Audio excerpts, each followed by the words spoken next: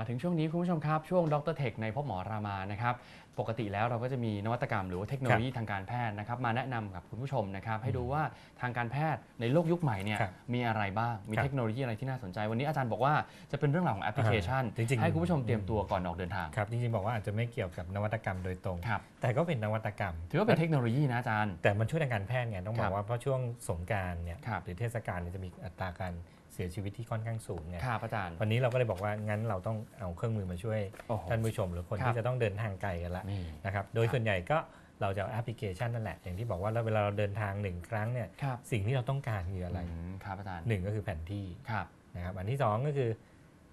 ขับรถนานครับ น้ำมันหมด น้ำมันหมดอ่าอะไรที่จะต้องดูแล้วว่าเราจะเติมน้ำมันตรงไหน อ๋อ ผมเข้าใจว่าเป็นอืมแอปพลิเคชัน คือเวลาน้ำมันหมดก็กดกดกดกดปุ๊บแล้วเอาไปแหย่เข้าที่อันไม่ไม่อันนั้นใช่ต้องอีกสักในอนาคตไม่ใช่นะนะครับและอันที่ 3 ก็คือแอปที่ช่วยป้องกันทำไงให้เราตื่นเนี่ยครับทำให้คนที่เรา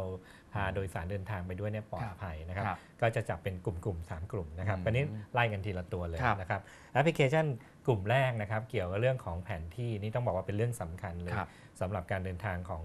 มนุษย์ในปัจจุบันนะครับอืมเพราะว่าครับการเดินทางอาจารย์เราเราสามารถทราบได้ว่าเราอยู่ตรงไหนแล้วอะไรยังไงครับแล้วถึงจุดหมายไม่ถึงจุดหมายอืมนะครับ อันแรกก็คือเป็นเรื่องของแอปพลิเคชันที่ชื่อว่า Map with me ครับนะครับก็คือแผนที่ที่เรามานำเสนอตอนนี้ต้องบอกว่าเป็นแผนที่ที่หรือว่าแอปพลิเคชันที่ไม่เสียสตังค์นะครับ เป็นแอปเดียวที่ถือว่าค่อนข้างคุ้มเลยนะครับ ติดตั้งแอปพลิเคชันเนี่ยดังดังกล่าวไว้เนี่ยกับสมาร์ทโฟนก็ได้ แท็บเล็ตที่มีซิมการ์ดที่สามารถต่อเข้าโทรศัพท์นะครับ ครับแล้วก็ค้นหาเส้นทางได้โดยกระทั่งอันเนี้ยที่ดีก็คือในกรณีที่คุณไม่มีอินเทอร์เน็ตครับ เราผมเคยเจอปัญหาบ่อยต่างจังหวัดไม่ค่อยมี อันนี้สามารถใช้แบบออฟไลน์ได้เพราะมันดาวน์โหลดข้อมูลเข้ามาในแอป แล้วเราก็สามารถที่จะเลือกจุดหมายปลายทาง แล้วก็เดินทางไปยังถึงจุดหมายได้แบบปลอดภัย อืมนะครับ ครับ ก็อันนี้ก็เป็นสามารถที่จะใช้แล้วก็ดาวน์โหลดได้ฟรีเลยนะครับ อืมในแท็บเล็ตตระกูล iOS แต่ครับ ว่าอ่าอาจจะต้อง ถ้าเกิดต้องการข้อมูลมากกว่านี้ บางคนก็อาจจะต้องอาเขาเรียกอะไรเสียเงินนิดหนึ่งครับนะครับแต่โดยส่วนใหญ่จะเป็นฟรีนะครับตัวที่ 2 เป็นแอปขวัญใจเรานั่นแหละครับแต่ก็พาผมหลงบ่อย ๆ เลยนะครับคือครับเทอรี่ก็เคยใช้บ่อยเหมือนกันก็คือครับตัว Google App ฮะครับ Google Maps นะครับครับ Google เป็น Google Application ตัวหนึ่งนะครับตัวนี้ปัจจุบันต้องบอกว่ามันอยู่ในเครื่องมือที่เรียกว่าเป็นกลุ่มของ iPhone หรือ iOS Store เนี่ยค่อนข้างที่จะ คึบเครื่องละมีหมครัดบละ แล้วก็ค่อนข้างจะมีความแม่นยำมากกว่าเดิมนะครับ สามารถค้นหาได้ทั้งทั้งภาษาไทยทั้งภาษาอังกฤษนะครับ พื้นที่ของการเข้าถึงหรืออะไรต่างๆเนี่ยค่อนข้างจะแม่นยำกว่าสมัยก่อนเมื่อก่อนเนี่ยไปโรงแรมหนึ่งตั้งไปหามันเข้าหลังโรงแรมเลยครับนะครับอาจารย์เดี๋ยวนี้แม่นยำขึ้นเพราะว่าการวางหมุดหรืออะไรต่างๆเนี่ยก็ไม่สเปะสปะละอันนี้ก็เป็นแอปตัวที่2ซึ่งซึ่งเรียกว่าสามารถดาวน์โหลดได้หรือมันสามารถครับ เรียกมาใช้จากโทรศัพท์ตระกูล Apple ได้เลยนะครับจริงๆตัวที่ตัวที่3ครับนะครับก็จะเป็นกลุ่มของแผนที่นะครับอันนี้ฟรีเหมือนกันครับนะครับมีหลายยี่ห้อมีทั้ง Nosta AIS แต่อันนี้เอา Nosta มาพูดนิดหนึ่งถือเป็นแอปพลิเคชันที่ค่อนข้างโด่งดังในเรื่องแผนที่อยู่แล้วนะครับนอกจากคุณสมบัติในการแนะนำเส้นทางแอปตัวนี้ยังมีข้อมูลในการเดินทางท่องเที่ยว ครับ เพิ่มเข้าไปอีกเพียบเลยนะครับอืมทั้งเส้นทางจักรยานและที่สำคัญเมื่อกี้ลืมบอกไปครับห้องส้วมที่สะอาดอ๋อนะครับห้องอันนี้น้ำก็จะมีเนี่ยนะด้วยห้องส้วมห้องน้ำที่สะอาด แล้วก็ในช่วงของการเล่นสงกรานต์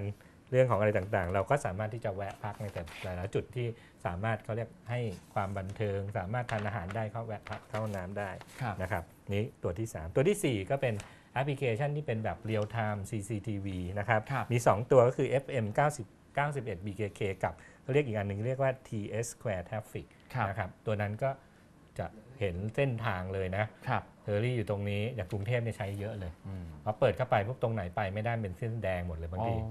อบางทีออกจากในช่วงครับเขาเรียก rush hour ในช่วงที่เวเวลาเขาเรียกเร่งด่วนเนี่ยแดงหมดเลยครับอาจารย์ไปตรงไหนไม่ได้ ชื่อแอนะครัปบว่า T Square Traffic เนี่ยเอ่อนะอา T จารย์ square ใช่ครับ T square traffic ต้องต้องขอโทษทีหนึงครับอาจารย์นะครับ ก็สามารถดูข้อมูลแบบเรียลไทม์ได้ก็มีอ๋อกล้องจับขทั่อวงไปการหมดจราจรบ้านนะครับเราโดยเฉพาะของกรุงเทพครับนะครับอาจารย์อันนี้ก็เป็นแอปตัวทีสี่4นะครับครับ แล้วก็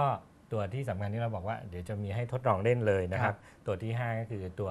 ที่เป็นแอปเขาเรียก Cafe Amazon ต้องบอกอะบอกชื่อเข้าไปนิดละกันครับนะครับเพราะว่านี้แอปตัวนี้ได้รางวัลด้วยนะอืมในการที่จะช่วยอย่างเทอรี่ขับรถไปเนี่ยหรือถ้าผู้ชมขับรถไปเนี่ยตัวแอปพลิเคชันตัวเนี้ยสามารถจับได้ว่าเราหลับหรือไม่หลับครับนะครับอะเดี๋ยวผมจะลองให้เทอรี่เล่นครัรืบอว่าทดสอบให้ผู้ชมนิดหนึ่งนะครับนะอ่าเนี่ยผมปึ๊บเข้าไปครับนี่ไงนะครับ แอปหน้าตาอ่าเนี่ยเดี๋ยวดูตัวตัวนี้ก่อนนะครับแอปหน้าตาจะเป็นแบบนี้เลยนะครับคือเราก็สามารถติดเข้ากับหน้ารถ เดี๋ยวเราจะให้ทดลองจริงนะครับ ครับ ตัวนี้ก็จะจับในเรื่องของดวงตาของคนที่ขับ ถ้าหลับปุ๊บ มันก็จะมีการเตือนขึ้นมานะครับ เป็นการ alert ขึ้นมาว่าเฮ้ยคุณหลับแล้วนะอ๋อ นะครับแล้วมีเสียงเตือนออกมาปุ๊บเราก็จะต้องเข้าไปพัก หรืออาจจะเข้าไปพักหลับ หรืออาจจะเข้าไปหาอะไรดื่มนะครับอ๋ออืมครับ อันนี้ก็ใช้เรื่องของ eye movements นะครับครับอันนี้ผมให้ดูเลย นะครับแบบเดียวกันเลยฟรี drive นะครับ awake เนี่ยนะฮะได้ awake นะครับอ่าเดี๋ยวผมจะลองเริ่มให้เทอรี่จับนะครับลองครับ กดอ่าเทอรี่ลองกดตรงกลาง ครับอาจารย์ activate อย่างนี้เหรอฮะอาจารย์ มอ๋อ ตอนนี้คือกำลังตรวจจับตาของผมอยู่ใช่ไหมฮะอาจารย์ใช่ครับ ตอนนี้แสดงว่าเรายังลืมตาอยู่เทอรี่ลองลองหลับตาคราวนี้หลับะคตาเหรอฮะอาจารย์บกลางง่วงถ้าหลับตาอ๋ออ๋ออ๋ออ๋อ อ่า อ๋อ อย่างนี้เหรอฮะอาจารย์ ใช่แล้วมันก็จะมีเสียงเป็น เสียงนกเพราะว่าตัวเขาเป็นนกไงก็ร้องเตือนอ๋อนะครับ แล้วก็จะบอกว่าครับให้ไปหาที่พักหรือไปดื่มครับกาแฟที่ใกล้อ๋อๆสถานที่ใกล้ๆนะครับต้องบอกว่ามันมันก็ค่อนข้างน่ารักอยู่นะครับครับอาจารแต่ย์ระยะระยะต้องบอกระยะครับในการที่จะจับในสายตาเราเนี่ยมันจะค่อนข้างที่จะใกล้หน่อยนะใกล้หน่อยนเพราะคว่าบมันก็ไม่เป็นไรนะฮะอาจารย์เพราะน่าจะติดอยู่ที่กระจกติดรถที่เหมืติอดนกระที่จกรถแต่ว่าไม่แนะนำว่าติดอย่างนี้นะฮะติดอย่างนี้อาจจะขับไม่ได้นั่นสิฮะอานะจารครับย์เพราะฉะนั้นเนี่ยอันนี้ก็เป็นแอปที่ที่ดีได้ตัวหนึ่งแล้วคครัรับบแล้วก็ สามารถที่จะใช้ได้ค่อนข้างจะครับเขาเรียกว่าก็ช่วยเราได้เยอะลูกนะครับ ลูกเล่นดีชาญฉลาใช่ดมากใช่นี่มาครับ marketing ดีมากนะฮะครับท่านส่วนตัวสุดท้ายเลยอันนี้ครับ เลยสำหรับท่านที่แบบต้องขับทางไกลแล้วครับ กะว่าน้ำมันหมดแน่เลยนะครับ ครับก็ค่าสามารถเข้าไปดาวน์โหลดได้ก็คือ Life Station หรือจะมี ครับ 2 แอปคู่กันเป็นพี่น้องก็คือ PTT Life Station นะครับ อันนี้สามารถที่จะเลือกหานะครับกระทั่งปั๊มน้ำมัน ปั๊ม NGV นะครับ ปั๊ม LPG gas นะครับ ทั่วประเทศเราจะเดินทางไปไหน เช่นจากจากอ่าละอ่าจากกรุงเทพไปโคราชเนี่ยแล้วเราใช้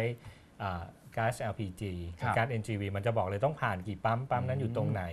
นะครับแล้วคำนวณเส้นทางการเผาผลาญครับระยะเวลาที่จะถึงโดยคร่าวๆให้เราด้วยอืมนอกจากนั้นระหว่างทางมันก็ยังหาปั๊มที่อยู่รายล้อมรอบทาง แล้วก็ครับมีห้องน้ำสะอาดนะครับสามารถเชื่อมโยงไปเรื่องของ แหล่งท่องเที่ยวใกล้ ๆ นั้นสถานที่กินอาหารต่างๆ ที่ครับพักโอ้บางทีเราขับไปแล้วไปไม่รอดแล้วนะครับก็สามารถเชื่อมโยงไปยังที่พักได้ครับนะครับอืมก็ค่อนข้างสะดวกสบาย แล้วก็ค่อนข้างจะเสถียรด้วยครับแล้วก็สามารถดาวน์โหลดได้ฟรีนะครับครับตัวนี้ก็จะมีการวางแผนการท่องเที่ยวที่ดีนะคครัรับบถ้าเป็น Ride Station ก็จะคร่าวๆ แต่ถ้าเป็น PTT Ride Station เนี่ยจะครับใหญ่เลยนะครับอ๋ออืมครับอันนี้ก็ประมาณ8แอปแปดแอปพลิเคชันนะนะคครัรับบอาจารย์ที่สามารถเขาเรียกว่าดาวน์โหลดไว้ก่อนเดิคนรับทางกันช่วงนี้เลยนะครับ แล้วก็อีกตัวหนึ่งครับตัวที่ 9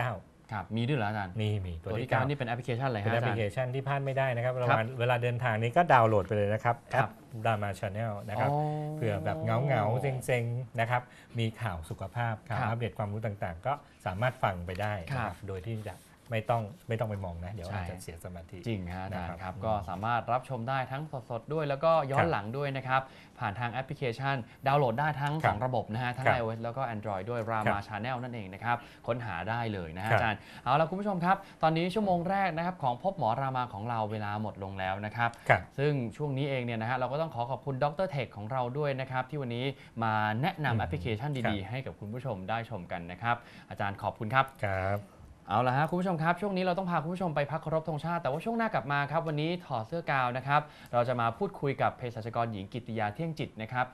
จากเรื่องของการใช้ยานั่นเองครับครับ จะเป็นการใช้ยาเนี่ยนะฮะคุณผู้ชมสามารถเข้ามาติดตามรับฟังรวมไปถึงปรึกษานะฮะรวมไปถึครังบถามคำถามได้อันนี้ตลอด 1 ชั่วโมงเลอันยนี้คือกว้างๆเลยกใช่ไหมว้างๆเลยคืเรื่องราวของการใช้ยาทั้งหมดเลยทั้งโลกครับ ที่ต้องใช้ยาประจำครับหรือการเจ็บป่วยที่เป็นแบบเฉียบพลันต้องใช้ยา ครับหรือคนที่ใช้ยาแล้วมีปัญหาสามารถโทรเข้ามาได้เลยครับ ครับ อะช่วงนี้เราพักกันสักครู่คุณผู้ชมครับ